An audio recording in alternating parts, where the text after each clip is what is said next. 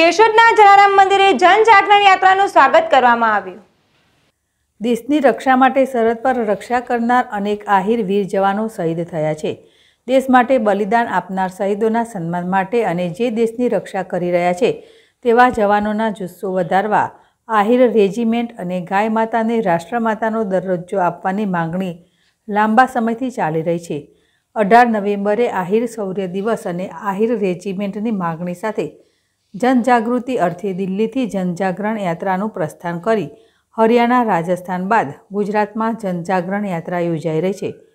Gujarat, MP ઉત્તર પ્રદેશમાં જનજાગરણ યાત્રા યોજા છે જેના ભાગરૂપે આજે કેશોદના જલારામ મંદિરે આગમન થયું હતું. જ્યાં જલારામ બાપાના દર્શન કર્યા હતા. જલારામ મંદિર સમિતિ દ્વારા જનજાગરણ યાત્રામાં આવેલ ધુરારામ યાદવ અને આહિર રેજિમેન્ટ સંઘર્ષ મહાનાયક રાજસ્થાનના સાવલરામજી યાદવનું સાલ ઓઢાડી સન્માનિત કર્યા હતા. સાવલરામજી યાદવે આહિર રેન્જીમેન્ટ અને ગાય માતાના રાષ્ટ્રમાતાનો દરજ્જો આપવાની માંગણી બાબતે વિસ્તૃત ચર્ચા કરી હતી અને વંદે માતરમ આહિર રેન્જીમેન્ટ હકે હમારા નારા લગાવ્યા હતા.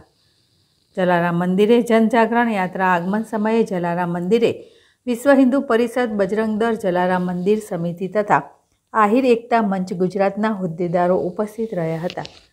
આહિર રેજિમેન્ટના સમર્થન આપ્યું હતું ગોવિંદ आज जलाराम बापू मंदिर में आप सभी मीडिया का आभार व्यक्त करते हुए आज इस अवसर के ऊपर विश्व हिंदू परिषद बजरंग दल और जलाराम बापू ट्रस्ट के तमाम समिति के पदाधिकारियों ने मुझे बहुत बड़ा गर्व हो रहा है ये बात बताते हुए कि आप सबने जो इस देश की रक्षा के लिए, राष्ट्र रक्षा और बलिदान के लिए जो अभियान हमने चला रखा है, अहीर रेजिमेंट गठन के लिए भारतीय सेना में और गौ माता को राष्ट्रमाता का दर्जा देने के लिए जो संघर्ष चल रहा है, उसके अंदर आप सभी संगठनों ने बहुत बड़ा समर्थन देने दिया है।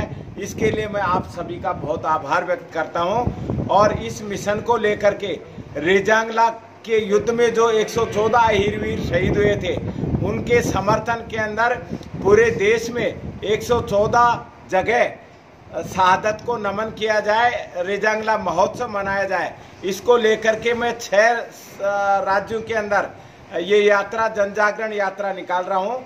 मिशन 114 रेजांगला महोत्सव, जिसमें दिल्ली से शुरू करके हरियाणा, राजस्थान और ये चौथा गुजरात है, एमपी और उत्तर प्रदेश।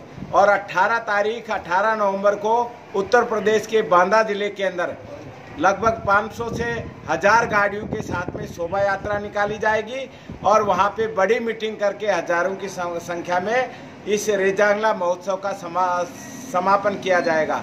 इसका मुख्य जो उद्देश्य है, इस देश की रक्षा के लिए जो बलिदान देते हैं, उन शहीदों के सम्मान के अंदर अही रेजिमेंट गठन किया जाए और इस देश की रक्षा के लिए, इस देश की सीमाओं को मजबूती देने के लिए इस मिशन को कामयाब किया जाए। मैं इस देश की सरकारों से निवेदन करना चाहता हूँ कि सब राग द्वेष से ऊपर उठ करके, जैसे सभी समाजों के लोग समर्थन कर रहे हैं, हमारी मांग को सभी समाज के सांसद भी उठा रहे हैं तो इस बात को प्रमुखता से आप लेते हुए और किसी भी जाति और उसके आधार पर नहीं देखते हुए, ये राष्ट्र रक्षा का जो काम है, ये सभी का काम है।